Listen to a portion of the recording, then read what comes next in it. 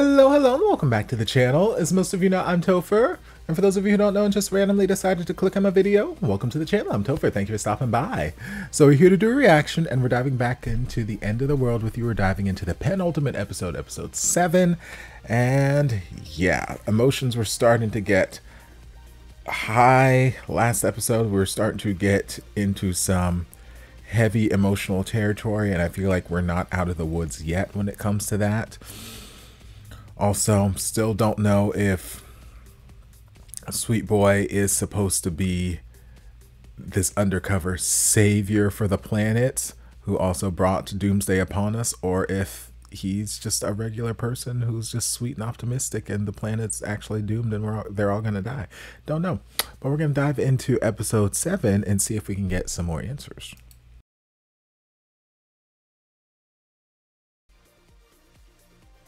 Okay, well, what an emotional roller coaster this episode was. Lord, we're coming off the aftermath of last episode with um, Ritsu basically telling his story about everything that happened with um, Meguru's sister. And yes, you can see that Ritsu was in a very sensitive headspace and he was just sitting out there the whole night, just looking at that fire, looking at that fire, and um, Matsumi wanted to go out and like go talk to him or rationalize with him or something, and Meguru for whatever reason was just like, mm-mm, mm-mm. and I'm not certain if that was her just saying he needs some time to be alone if that's her kind of realizing what kind of headspace he's in and just like let him let him go. I don't know exactly, but I kind of wish that she didn't, so that um, Matsumi could have gone out and talked to him. Like it all worked out in the end, but what if Matsumi didn't wake up after Ritsu came in and like was kissing him on the forehead or whatever he was doing uh, and apologized basically said i'm sorry echoing the same sentiment that Meguru's sister sent to him via text after calling like 30 times. She's like, sorry, bye. And he's like, I didn't know what it meant in the moment, but like now in hindsight, I'm like, oh, I know what that was. So it's kind of echo- echoing that same sort of sentiment. It's like, no, no, sir. So what if Matsumi did wake up at that moment? Then you know we wouldn't have our Ritsu anymore. We wouldn't we wouldn't have had the beautiful waterfall moment. This that the or the the you know the little island uh, getaway. Like so, there's the part of me that wishes that she hadn't intervened and would have just let him go out there and talk to Ritsu. But it it worked out in the end, and maybe maybe it worked out this way for a reason because who knows? Maybe had he gone out there and talked to ritsu at that particular moment they would have had a good conversation but maybe it wouldn't have been enough. Maybe it wouldn't have been emotionally charged enough to really make ritsu realize the consequences of his actions how deeply that would have cut Matsumi how much that would have hurt him, even though there's only allegedly a couple days left before the world ends. Still, for those days, how much he would have been hurting. So maybe he needed Matsumi to come and tackle him like that and just have this big emotional unloading on him um, to really get him to realize how this action could really affect everyone else who's being left behind. Um, but before he took the pill, we got a couple little flashbacks of his childhood and some moments from his past. This is one instance where I wish the series was just a little bit longer, either in episode length or in the number of episodes, because while what we got was great, I would love to explore just a little bit more. I would love, because I feel like they gave me a really great setup for some deep diving exploration. Like he's his mother, he was the result of, I guess, an illegitimate love affair, um, and him doing good in school and getting praise and accolades and whatnot makes his mother happy. It brings like pride to her. It brings pride to the family. It helps to give her a good name. Not that she's out here seeking pride necessarily, but he's doing all of these things out of a way to basically help his mother. And then daddy comes into the picture when he's grown. He's like, hey, um, your stepbrother didn't get into that college. So could you just like not go to that college, that totally top school in all of Tokyo? You know, can you just not do that? And in my mind, I'm like, what the hell does that have to do with me? I've worked my ass off for the last like 17, 18 years of my life and got into this college. I deserve to go to this college. Why does my stepbrother, which I don't know the nature of the relationship, I'm assuming they're not close just from the general vibe I'm getting from daddy. I'm assuming he's not necessarily bringing Ritsu to the family dinners with his new wife and kids. Um, but so I'm like, I don't care that he didn't get into he didn't get into the college. Boo fucking who? Okay. He failed he tried a couple times and failed. Well, that's his problem. I'm sorry that I was good at school. I, am sorry. That's not my fault. Um, it's like, yeah, if you could just not go to that college, that'd be great. I'll um, pay your way. I'll take care of everything financially, which, you know, is a hard offer to pass up. But also, I'm like, what benefit does the stepbrother get out of me not going to college? Is it a, a sort of thing like maybe the stepbrother was waitlisted? And so he didn't get in, but he's waitlisted. So if Ritsu doesn't accept, then he off the wait list like okay you can come in now and something like that. Don't know we didn't really explore. There's lots of things that we could have explored more and i wish we had the time to explore them but right now we really don't. Um, but it was a good sort of setup.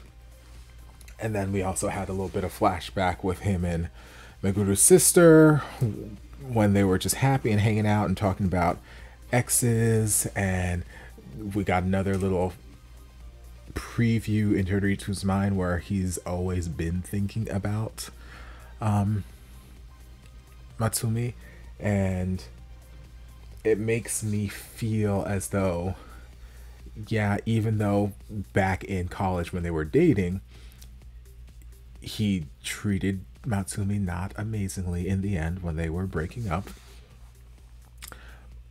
I'm choosing to see it as that was how he felt in the moment. But as he got older, he did a lot of reflection and realized the error of his ways and wanted to make amends with Matsumi, but never really had the opportunity to at that point. Like, you know, the moment had passed, it was a little too little too late. Um, so in the moment, yes, he was an absolute ass and, mm, but he grew to realize that he did something bad and made his mistake and wanted to kind of make things better. Um, and he's realized, I guess, that he's always kind of loved, regardless of who he slept with or dated, this, that, the other, that kind of special place in his heart is still for Matsumi. Um, so he was making the attempt. He'd made multiple attempts because he already said, "Well, I can't contact him because he's changed his number," which tells me that he's already tried to contact him. Um, he's like, "Well, what about social media?" Didn't find him on social media, but found one of their college friends and reaching out to him like, "Hey, can you give me his number?" And the friend was basically being a good friend in that as best a friend as he could be, where it's like, "Hey, you weren't there for the aftermath of your relationship." he was a wreck. He went to shit. It was awful. And I don't think that you are someone that he wants to even think about again right now. I don't think he wants to go through that again. I don't want him to go through that again. So I can't, in good conscience, give you his number. And just kind of a protective measure, which I'm like, you know, good. I hope one, if that were ever the case, and someone contacted one of my friends, which technically has been the case after a breakup, but it was like right after a breakup when they started contacting friends and whatnot. But still, I hope if that were the case and I went, I wasn't on the receiving end of the breakup. I broke up with him. Um, but I hope if I were ever on the receiving end of like some sort of devastating breakup like that, and you know had someone come back into the picture and contact my friends, my friends would be like, mm, no, no, you you you you fucked his heart up real good, and no, you you I can't let you do that again. Um, so at that point, you know, he stopped trying to reach out because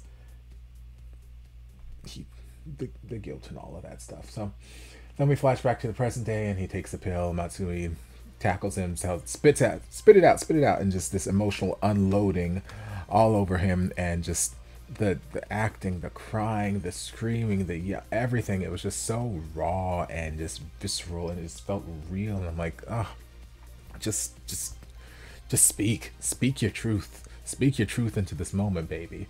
Um, and then from there, they were better. Matsumi said the next day, you know, what, I'm gonna just turn a blind eye to it right now. Just focus on let's getting Meguru back home.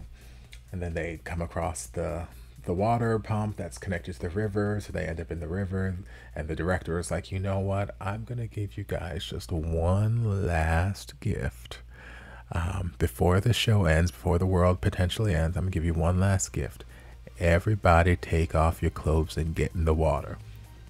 Praise Jesus, I'm here for it. All right, now we're gonna have like seven minutes of shots with Ritsu just standing up soaking wet, and we're gonna just keep flipping from showing the front of him and showing him from behind. We're gonna show you nipples and we're gonna show you ass. We're gonna show you cheekbones, we're gonna show you back. And I'm like, this is just a treat. Thank you. And then, of course, we got Matsumi over here looking fine as a glass of wine, too. We're like, okay, deliciousness, deliciousness, deliciousness, deliciousness. And I'm like, okay, praise Jesus, how you doing? And then, of course, we have baby boy over there running, but I don't know how old he is, so we ain't gonna look at him right now. He, he's, he's just over there swimming with um, Meguru, and that's fine. And you stay over there, little boy. Um, but in that moment, they had some more just great conversation. And like now i'm fine. Like between last episode and this episode i am fine hopping aboard this ship. It's all i needed. All i needed was ritsu to take accountability for his actions and to genuinely apologize from his heart. Those things have happened. They seem to be at a good level of understanding. You can feel the love. You can feel the affection. You can feel the chemistry kisses or whatever, but you can feel all of the other things. I'm like, okay, I can hop aboard this ship. And he's like, Will you please fall in love with me again? And he's like, A good callback to the first episode. I thought you were good at seeing, telling when people were in love with you. Like, mm-hmm. like cute, cheeky. And then in that moment, we also had um, and um, Yuma. I was like, why did I just forget his name? Um, this watch walking on them kissing like oh they're that way. And i'm like huh. I guess we never really did cross that territory in front of them or with them. Like in my head i thought it was fairly obvious because i've been here along the ride for the whole time. And i just assumed that at least yuma was aware. Like they, they i felt like I could read the energy between them, but then again, Yuma is just he is just a little high school boy, so his emotional maturity and being able to read the room and the situations may not be at its apex right now, so understandable. And then since uh, Meguru's been in the group, I don't know that they've really had a reason for that to come up in conversation, so I guess it's not surprising that they didn't know. But they're like, okay, let's just pretend like we didn't see anything. Let's go, let's go. And at first, I wasn't sure if they were going to introduce, like, oh no, they're not going to be comfortable with this idea storyline. But it, it, seemed like we're moving past that, so they're they, are they are fine. They just might have been taken aback by like, oh goodness me. And then we got Meguru home finally, where her parents thought it was her sister come back to life. I'm like, no, that's not the case. Not not quite. Um, and yeah, so we've got one episode left. I don't know if we're going to have time to get Yuma home. I don't know if in that episode, since we are in Meguru's house right now, if Yuma's going to see things in the house or if her parents are going to say things that are going to reveal that Meguru is actually um, a man in ladies' clothing. I don't know. I don't know what's going to happen there. But yeah, we're going to we're gonna dive in and find out. So Hope you guys enjoyed this reaction. If you did, don't forget to like, comment, subscribe, share, turn on notifications to be notified when all of my shenanigans get posted. If there's anything else you'd like me to react to, be sure to leave it down in the comments. I'll get to it as soon as I possibly can. If you'd like to support the channel in other ways, you're more than welcome to join us over on Patreon. You don't have to, but you're more than welcome to if you want to. I'll see you guys in my next video. Love ya. Mwah.